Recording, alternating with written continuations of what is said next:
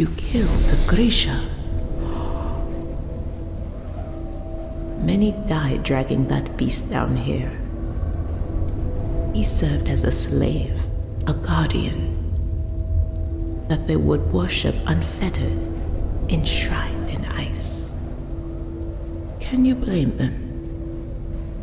The perversity of living has always been its ever changing nature. So, then, would you like another sip?